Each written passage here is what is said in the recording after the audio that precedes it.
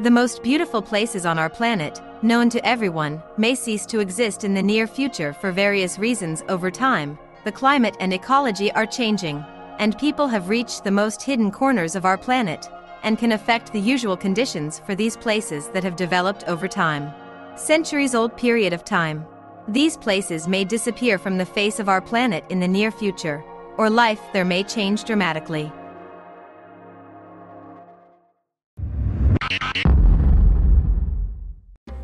One of these places is the Galapagos Islands, a group of islands in the east of the equatorial Pacific Ocean. These islands belong to the state of Ecuador. They got their name because of the habitat in these places of a rare species of aquatic turtles called Galapago. These islands are the habitat of about 9,000 species, many of which are found nowhere else in the world.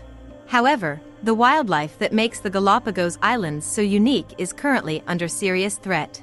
Over many hundreds of thousands of years on these islands, various species of fauna have adapted to coexist and not interfere with each other. There were practically no predators, but with the advent of humans in these places, life began to change its usual course. Rats and other various predators came from ships to the islands, so man brought cattle, goats, pigs, and cats to these islands, the population of which began to increase, destroying the indigenous inhabitants, the usual living conditions of local species of birds and animals that had developed over millions of years of evolution, which were not able to adapt so quickly to extreme conditions, began to be disrupted.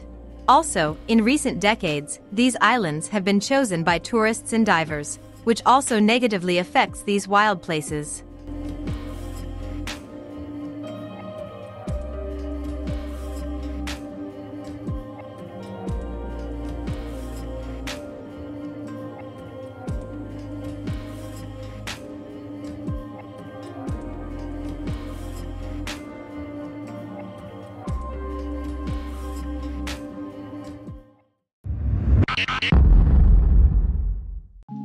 The Maldives is also in grave danger. The Republic of Maldives is a state located in the equatorial waters of the Indian Ocean. In total, there are about 1,200 coral islets, 202 islands are inhabited, the rest are uninhabited. The origin of the islands is volcanic. The Maldives is famous for its amazing record, it has the lowest highest point in the world. Only 2. 4 meters. Due to the low altitude of the land above sea level, the Maldives is seriously threatened by flooding. Scientists give disappointing forecasts on this matter. They believe that due to the melting of glaciers, the water level in the ocean will steadily rise, and this threatens the Maldives with disaster. 80% of the islands rise only 2 meters above sea level. The Maldives are effectively protected from the high waves and storms of the Indian Ocean by barrier reefs and are home to an amazing diversity of marine life. Stunning corals, more than 2,000 species of fish, rare turtles, as well as creatures unique to this region, such as reef and whale sharks, moray eels, stingrays, and many others. And it would be a great pity if their usual living conditions change. By 2030, most of the islands in the Indian and Pacific Oceans will become uninhabitable. Scientists and researchers from the U.S. Geological Survey and the University of Hawaii have come to this conclusion. Changes in the water level in the Marshall Islands and the study of geological features have led scientists to a disappointing conclusion the advance of the sea onto land is inevitable, and flooding of the territory of the island states is not the only problem for the coming decades. In addition to flooding of the islands, people will face an acute shortage of drinking water, the amount of which on the islands will be reduced due to global warming.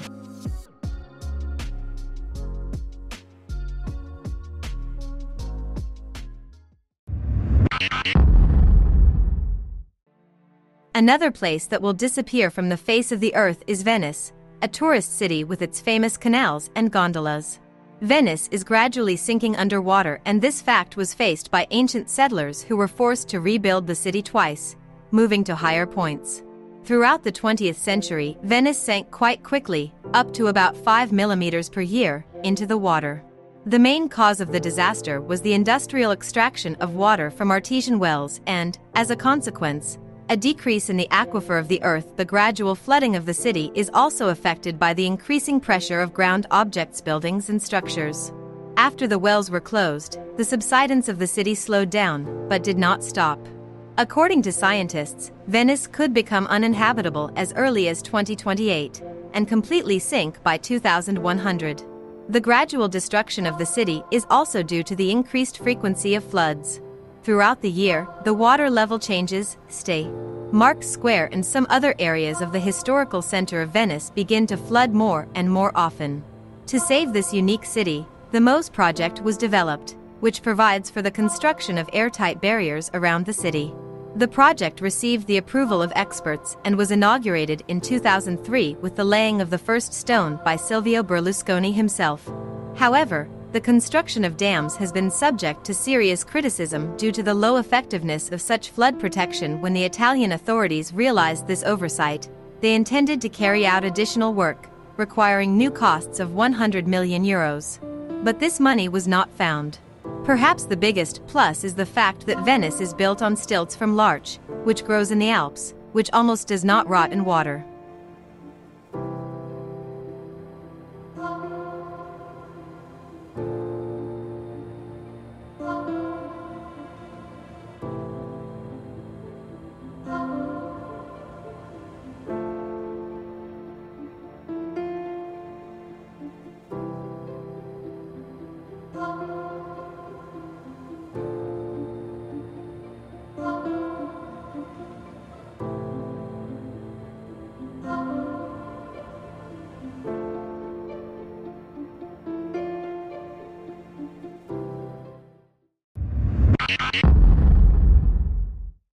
Great Barrier Reef in eastern Australia is the world's largest coral reef.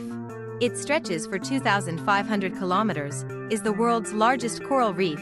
The ridge contains more than 2,900 individual coral reefs and about 900 islands in the Coral Sea. It is the largest ecosystem in the world because it is a colony of coral polyps.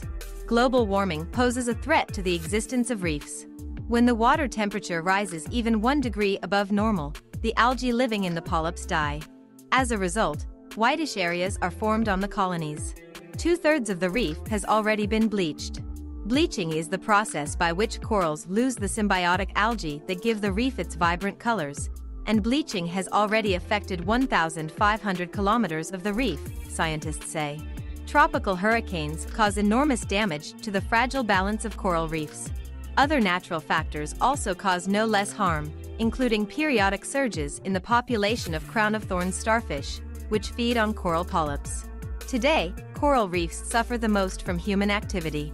Mass tourism also poses a known danger. With the development of tourism infrastructure, coastal sea waters are inevitably polluted. The Great Barrier Reef is home to about 1,500 species of marine fish. The largest fish on Earth, the whale shark, lives here, as well as many species of parrotfish, boxfish, butterfly fish, moray eels, and many others. The waters around the reef are home to several species of whales, as well as many dolphins, including killer whales. The waters around the reef are a breeding area for humpback whales. The South Reef Islands are a breeding ground for sea turtles. Six of the seven species are found in the reef's waters, all of which are endangered. A huge number of crustaceans also live here crabs, shrimp, lobsters, and lobsters. Even a small reef provides shelter to about a hundred different species of shrimp and crabs. There are also a lot of shellfish on the reef. In addition to all kinds of marine life, the Great Barrier Reef provides shelter to more than 240 species of birds. Continental islands are home to huge nesting colonies of birds. Some birds prefer to nest on certain islands. And with changing conditions, many of these representatives of the fauna are doomed. Now scientists fear that there is very little chance for the reef's corals to recover. Also, from the point of view of scientists, the bleaching process threatens the very existence of the reef. The Dead Sea is also on the verge of extinction, an endorheic salt lake between Israel and Jordan. The water level in the Dead Sea is 430 m below sea level and is falling at a rate of approximately 1 m per year. The coast of the lake is the lowest piece of land on Earth and the Dead Sea is one of the saltiest bodies of water on Earth. Salinity is 300 to 310 per thousand.